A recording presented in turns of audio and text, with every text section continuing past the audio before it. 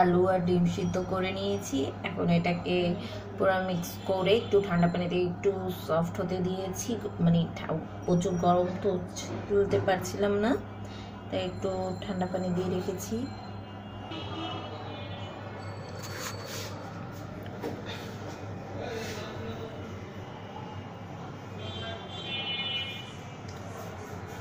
এখানে আলু চপের জন্য আমি মশলা তৈরি করে নিয়েছি।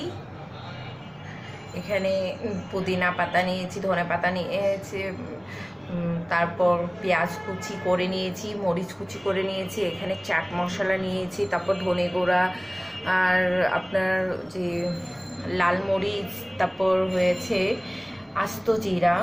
ফ্লেভারটা ভালো আসে আর আমি জিরাটা একটু ভেজে ওটা বেটে তারপর দিব। আরও টেস্ট আসবে, দেখতে থাকেন। যে আস্ত জিরা আমি নিয়ে নিয়েছি, এটা বেটে নেব এখন একটু।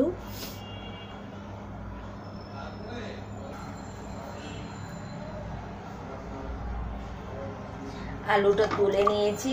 এখন এটা আপনি হাত দিয়ে তো মিক্স করতে পারবেন না, এরকম একটা গ্লাস নিয়ে এভাবেই আলতো আলতো করে চাপ দিয়ে দিয়ে সুন্দর করে একটা মিক্স করে নেবেন। সুন্দরভাবে মিক্স হয়ে যাবে।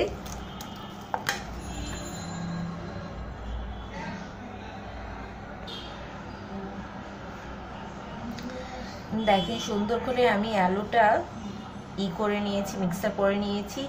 এখন পরিমাণ মতো আমি লবণটা দিয়ে দিচ্ছি।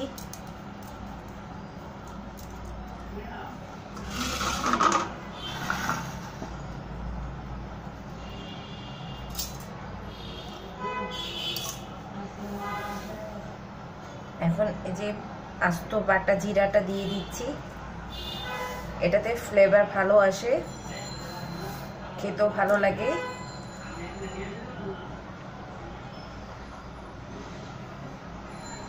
আর এই যে মশলাগুলো দেখিয়েছি, এখন মশলাগুলো এক এক করে সবটা দিয়ে দিচ্ছি এটাতে।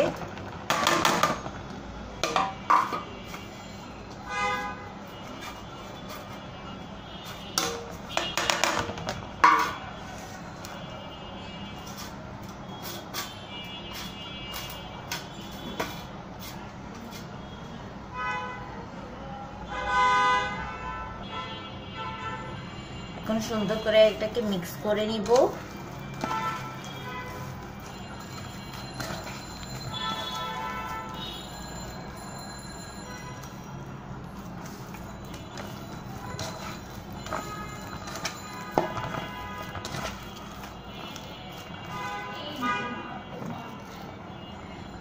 আলতো আলতো করে সবটা মিক্স করে নিতে হবে হাতে। খুব সুন্দর করে মিক্স করে নিতে হবে।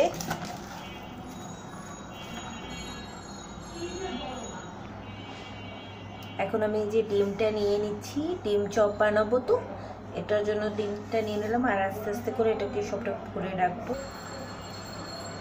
যে আমি ই করে নিয়েছি, প্লেট টাইপের বানিয়ে এটার উপরে রেখে দিয়েছে, যে এখন এভাবে করে আস্তে আস্তে আস্তে আস্তে এটাকে আটকিয়ে দিব। দেখতে পাচ্ছেন, আমি খুব সুন্দর করে আগে পিছিয়ে সব ট্রাই করে ফেলছি। খুব সুন্দর করে ডিমটাকে কাভার করে নিয়েছি। এভাবে করে এক এক করে সবটা করে ফেলব। দেখতে পাচ্ছেন, আমি সবটা করে ফেলেছি সুন্দর করে। এটার কাজ শেষ, এবার বেসনের কাজ নিব।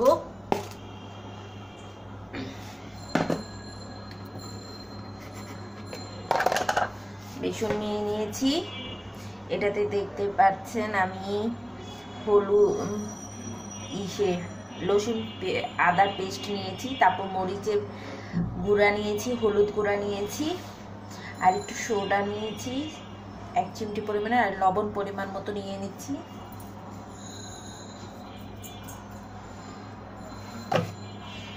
এটাকে সুন্দর করে মিক্স করে নিই।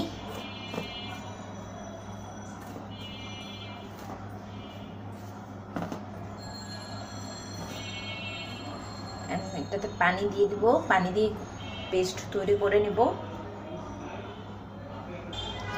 আমি ব্যাটার তৈরি করে নিয়েছি, দেখতেই পাচ্ছেন। এখন কাজ করা শুরু করে দেই, তেল গরম করব কড়াই। আমি তেল গরম হতে দিয়ে দিয়েছি, তেল গরম হবে, তারপর আমার সব কিছু দেওয়া শুরু করব।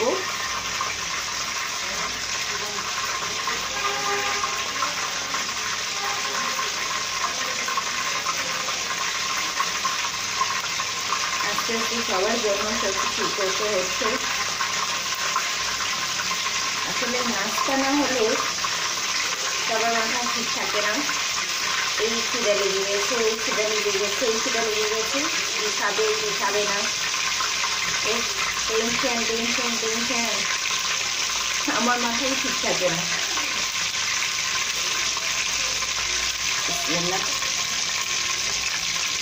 দেখতে পাচ্ছেন এভাবে উপরে।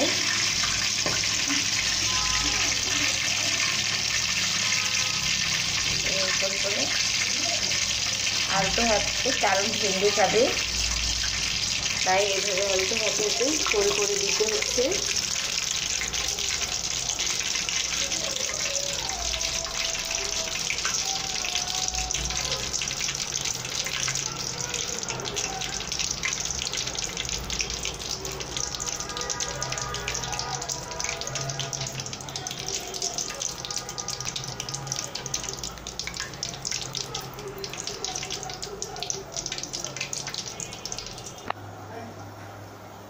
দেখতেই পাচ্ছেন।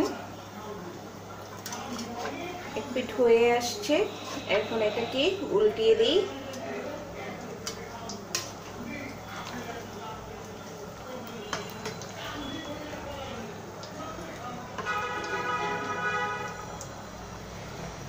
মাশাআল্লাহ খুব সুন্দর কালার আসছে।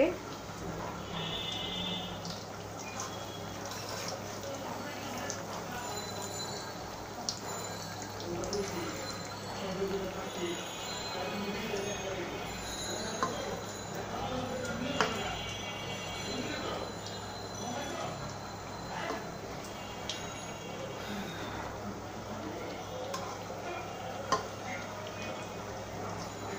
মেয়ে বলেছে, আলু চপ খাবে।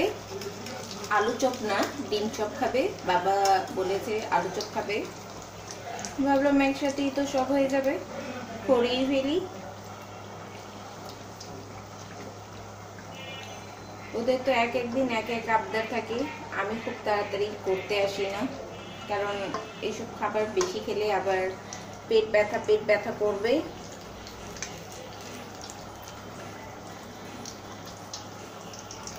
তাই শুধু সিম্পলে আমি স্যুপ পাস্তা এগুলো নর্মাল আমি করে দেই এভরিডে তো তেলের প্রচুর পরিমাণে তেলের ভাজা পোড়া এভরিডে দেই না আমি।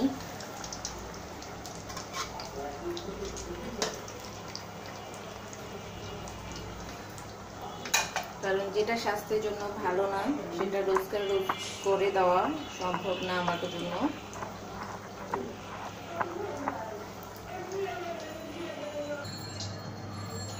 মাশাআল্লাহ, দেখতেই পাচ্ছেন, আমার ডিম চপ, আলু চপ হয়ে গেছে।